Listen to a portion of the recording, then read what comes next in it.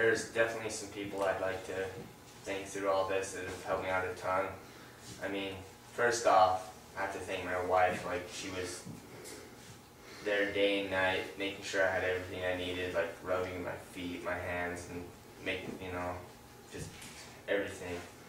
And I couldn't have made it without her. And, I mean, this accident brought us a lot closer for sure.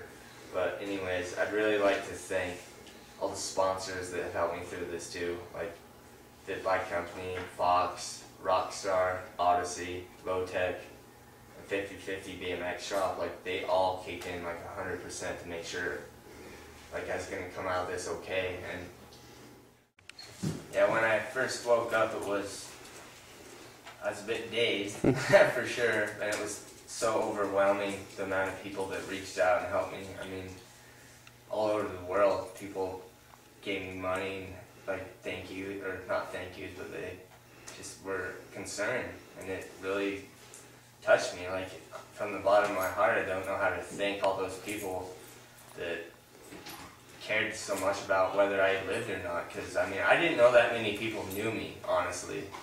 Like I've always rode and kind of thought of BMX as, you know, yeah, me and my friend ride here in Salt Lake City, Utah, but I've never really put it all together. Like I knew people knew me in other places, but not like that. I was definitely amazed, and the amount of help I had, I just I couldn't have done it without all those people.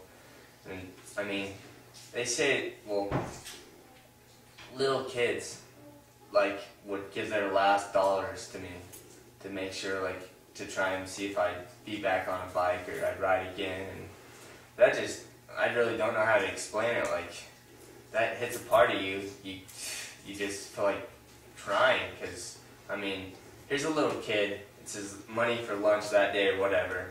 And I remember being young it's hard to get that money sometimes. You gotta scrounge all that change out from under, underneath the couch cushions. And um, he'd just give it to me, be like, hey, this is for Mikey, and hand it, hand it to Eddie or whoever at 50-50, and it happened a bunch of times. But to have those kids give me their last dollars was huge, and I really don't know how to thank all the people that helped me. Like, it really means more than they know.